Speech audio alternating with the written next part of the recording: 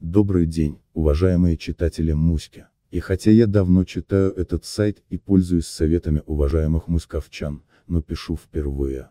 Поиск на миска. Ру не дал результатов, и я не нашел обзора на купленный мной девайс. Русское название еще не совсем устоялось, но я искал HDMI матричный коммутатор 4 на 2.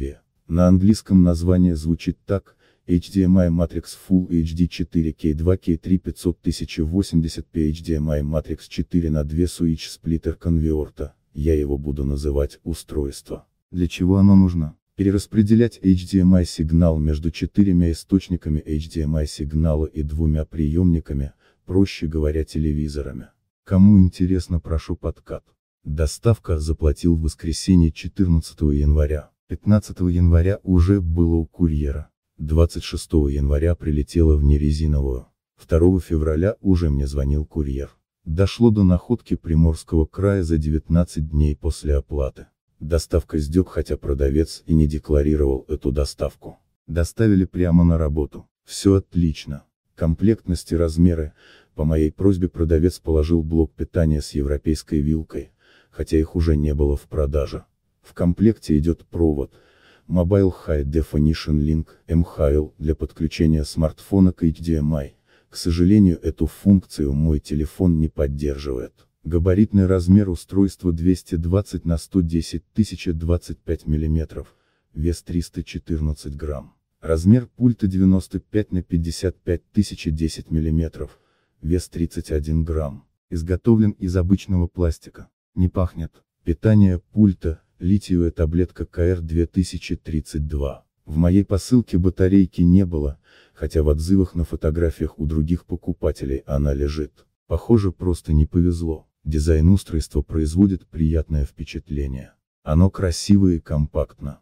Несмотря на то, что к нему подключено 6 немаленьких кабелей и один маленький. Дизайн. Оно отлично вписалось в интерьер. Фотографии в магазине вводят в заблуждение, устройство кажется большим.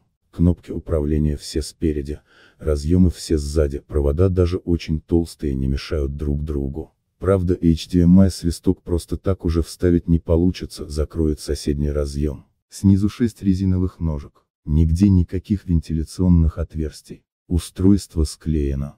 Винтиков для разборки я не обнаружил. По моему мнению недостаток в дизайне один, глянцевая, очень маркая поверхность. Остаются следы даже от чистых рук, и блеск можно навести только специальной тряпкой. Функциональность. С основной функцией, раздача сигнала HDMI от 4-10 источников до двух телевизоров, устройство справляется на отлично.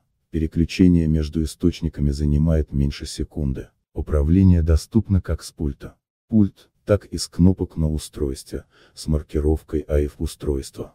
При переключении на экран телевизора дополнительно ничего не выводится, а жаль. Поначалу непонятно на какой источник переключился. Ориентироваться можно только по передней панели устройства. Input A или Input B показывает к какому источнику подключен телевизор Айлев, причем они помечены по-арабски справа налево, но соответствуют вставленным проводам HDMI сзади устройства. При переключении с пульта все происходит быстро, задержка есть, но она совершенно не раздражает.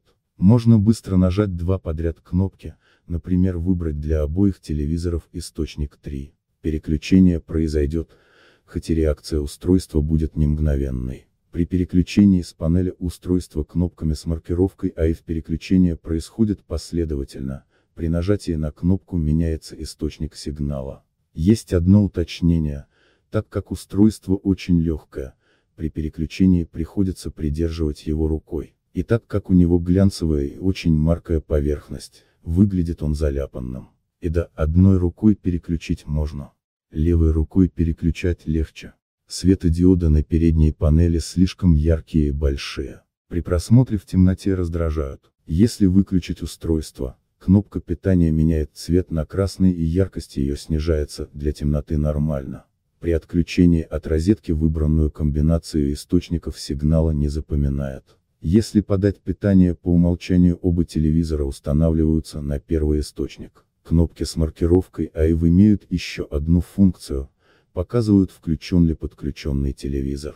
Если горят телевизор работает, Если нет, значит телевизор выключен или находится в режиме стендбай. Иногда при включении телевизора нет изображения, только цветной шум, лечится это переключением входа на телевизоре. Но было это всего пару раз, за неделю тестов. Итог. Покупкой я очень доволен. Устройство делает все то, для чего и покупалось. Мои взрослые телевизоры, имеющие один, два входа HDMI теперь без проблем возни с передергиванием проводов подключаются к современным устройствам с выходами HDMI.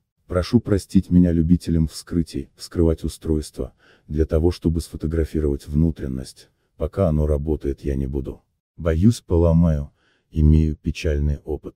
Тем более устройство покупалось на свои деньги, а не предоставлено магазинам для обзора. Также прошу простить меня любителям качественного звука. Не смогу проверить возможности со звуком, это разъем типа тюльпанчик и оптика сзади устройства, а также ряд кнопок на пульте. Мне их просто ни на чем проверить, нет даже проводных наушников. Хотелки или если бы оборудование проектировал я. Что еще бы хотелось, один. На Амазоне полно устройств, которые делают пип-картинка в картине из разных источников HDMI, но на один телевизор, Почему бы в подобных устройствах на два телевизора не сделать такого? Было бы неплохо смотреть новости, поигрывая в покер онлайн. Я сейчас так делаю на телевизоре Philips, но второй телевизор эту функцию не поддерживает. 2. Голосовое управление, выбор источника, отключение звука. Мы в 21 веке или где? Немного лирики, начну с истории, как мы докатились до такой жизни. В нашей семье два телевизора, один на кухне, другой в зале. Как и положено, по количеству членов семьи, и всегда основной проблемой было смотреть один фильм одновременно на двух телевизорах, без рассинхронизации звука и изображения. Первым на этом поприще выступал медиаплеер HDS 650, пока благодаря неудачной перепрошивке он не стал кирпичом. Следующим я собрал компьютер типа Баребон. На основе платы ASRock 350001. Здесь я впервые столкнулся с проблемой HDMI. Компьютер работал постоянно, а телевизор, подключенный по HDMI, выключался. И при включении пропадал звук. И надо было либо перезагружать компьютер, либо потанцевать с бубном, чтоб звук появился. Стали появляться другие устройства с выходом только HDMI, а возится с кабелями такая морока. Где-то два года назад я услышал по сарафанному радио анонс подобного устройства, только оно еще делало картинка в картинке из разных источников. И я стал искать. Выбор пал на это устройство. И хотя здесь не все реализовано, по-моему я не ошибся. Между телевизорами при ремонте был проложен 5-метровый HDMI кабель. Он на фотографии в разделе «Дизайн» пятый справа, самый толстый. Очень часто занимаясь домашними делами, например уборкой, ставим на оба телевизора какой-нибудь концерт из YouTube и слушаем и по возможности смотрим, переходя из комнаты в комнату. Синхронизация отличная. Также можно смотреть разные передачи на разных телевизорах. Например на телевизоре а кабельное телевидение, а на телевизоре в YouTube через Google Chromecast. Chromecast показывает YouTube вообще без рекламы. А вы не знали? Можно поменять обратно, не меняя кабелей, просто нажав пару кнопок. Я теперь могу играть не только на компьютере, но и на любом свободном телевизоре через игровую приставку Valve Steam Link, подключенную к устройству. Я просто тащусь, а моя королева в восхищении. Давно не получал столько положительных эмоций от покупки электронного устройства. Тестовое оборудование, приемниками сигнала HDMI у меня выступали, а, телевизор Philips, 37PF 9730, один вход HDMI. Телевизор LG 32LA 515.5, два входа HDMI. Источниками сигнала HDMI у меня выступали 1. Кабельный ресивер DVP 100 World Vision Premium. 2. HDMI свисток Google Chromecast 2015. 3. Игровая приставка Valve Steam Link. 4. Android приставка Minix Neo 10.5. Главный тестировщик, PS1. Input lag проверил, никаких задержек по сравнению с просто кабелем, не выявлено, все на уровне статистической погрешности. Если кому интересно, могу выложить фотографии и расчеты в Excel.